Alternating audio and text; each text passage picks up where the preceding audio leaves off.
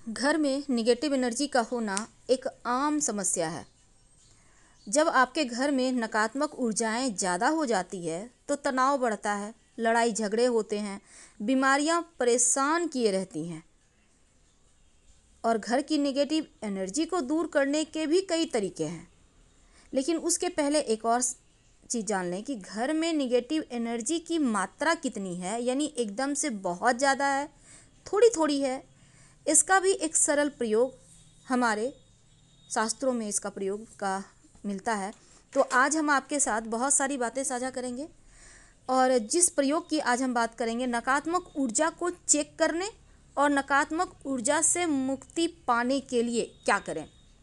तो negative energy को दूर करने के लिए कुछ खास प्रयोग किए जाते हैं, लेकिन कुछ ऐसी भी चीज़ें हैं जो घर की नकारात्मक ऊर्जा को बढ़ा देती है। इनमें है टूटा फूटा हुआ, बेकार में पड़ी हुई चीज़ें, वस्तुएँ, खासकर इलेक्ट्रॉनिक सामान, जो यूज़ नहीं होती, फेंक दें। बेकार का सामान, कबाड़, ऐसी चीज़ें नकारात्मकता को बढ़ाता है, आकर्षित करता है। अपने घर में नियमित रूप से सकारात्मक ऊर्जा प्रवाह के लिए क्या करें? कैसे बढ़ाएँ? ये भी हम जानेंगे। तो चलिए सबसे पहले जानते हैं कि घर की नकारात्मक ऊर्जा को कैसे चेक करें। आपको लेना है एक कटोरी में पानी। कटोरी स्टील का हो, कांच का हो, कोई भी ले सकते हैं। आप चाहें तो ग्लास भी ले सकते हैं। कटोरी लेंगे तो ज़्यादा अच्छा रहेगा। कटोरी में आधी कटोरी पानी ले लें और सात लौंग अपने हाथों में ले। लौंग हमेशा सात, ग्यारह, नौ, इस तरह से लीजिएगा विषम संख्या में। जोड़े में नहीं लेना। सात लौंग लें अपने हाथ में। दाहिने हाथ में लें और मुट्ठी बांधना नहीं है, हाथ को खुला रखें। अब हाथ को खोलकर अपने पूरे घर में घूमिए। याद रखिए, आप चाहें तो ये प्रयोग आप सिर्फ़ अपने रूम के लिए भी कर सकते हैं, आप पूरे घर के लिए भी कर सकते हैं। तो पूरे घर में आपको इस लौंग को हाथ में लेकर घूमना है। कटोरी की पानी को पहले ही लाकर आप कहीं पर रख दें घर में। कोई भी मेन एरिया में रख दीजिए। हॉल में भी रख सकते हैं, किसी रूम में भी रख सकते हैं। और जब तक आप लौंग लेकर पूरे घर में घूम कर आएँगे, तब तक पानी स्थिर हो चुका होगा। क्योंकि जब आप पानी उसमें डालते हैं तो हिलता है ना तो कुछ देर में स्थिर हो जाता है पानी। जब पानी स्थिर हो जाए तो लौंग को लेकर पूरे घर में घूमें और लाकर खुली हाथों से घूमिएगा, मुट्ठी मत बांधिएगा। और लौंग को हाथों से डाल दें पानी जो कटोरी में आपने रखा है उसमें। उसको डुबोना नहीं है। हाथ से डाल दें। जैसे गिर गया गिर गया। कुछ देर छोड़ दें। उन लौंग को पानी में न छूना है, न हिलाना है। करीब पाँच दस मिनट के बाद आप चेक कीजिए। और ये चेक करने का तरीका क्या होगा? अगर आपके सभी सात लौंग, याद रखिए, सभी सात लौंग आपने जितना भी लौंग लिया है, सात, नौ, ग्यारह, अगर पानी में तैर रही हो तो इसका मतलब है घर में निगेटिव एनर्जी नहीं है, आपका घर बहुत अच्छा है।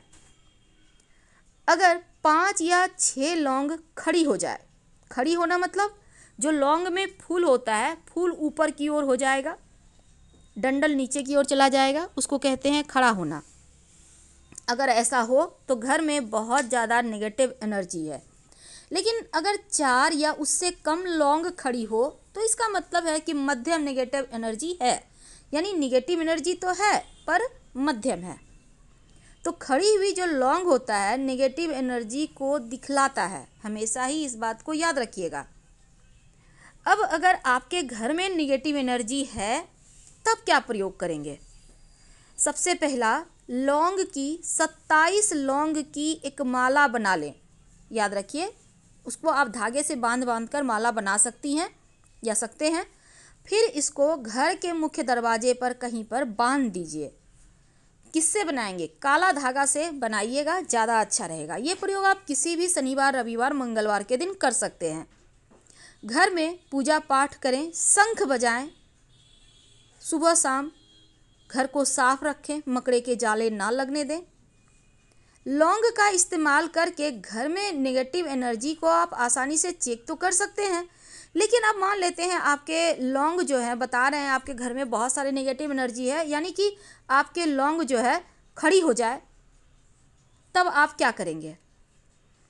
जब आपके लिए ऐसा कुछ हो जाए तब आ, एक बात याद रखिए कि आप लौंग को जो लौंग है, इसको आप नियमित रूप से जब आप पूजा के समय, शाम के समय दिया बाती करते हैं, तब एक लौंग जाल जल, डालकर जलाया करें।